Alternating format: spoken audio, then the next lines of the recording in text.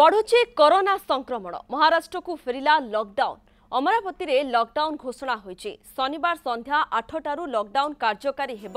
সোমবার সকাল সাতটা পর্যন্ত এহা বলবত্তর রহব এই সময় বজার এবং অন্য প্রতিষ্ঠানগুড়ি বন্ধ রহব অমরাবতী জেলাপাল শৈলেশ নেহল কিন্তু হঠাৎ সংক্রমণ বড়িবার সপ্তাহান্ত লকডাউন নিষ্পতি নিয়ে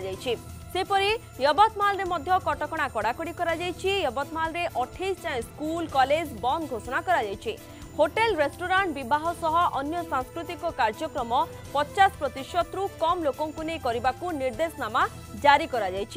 পাঁচর অধিক লোক একাঠি হয়ে পারে না